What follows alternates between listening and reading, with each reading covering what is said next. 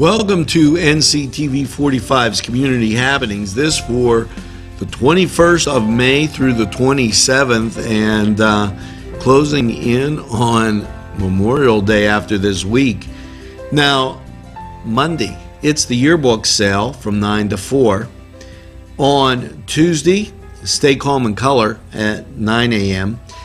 The movie morning movie there at 10 a.m. and computer classes, make sure you call for a reservation on that. Now Wednesday is the Wednesday night movie at 5:30. The bookseller open from 9 to 4:30 on Thursday. Also, the bookseller open from 9 to 4:30 on Friday. The booksellers from 10 to 2 on Saturday, and tabletop games. Well, that's at 1 p.m. Now, book it on over to the library for some great reading and great activities. You'll find it very intriguing.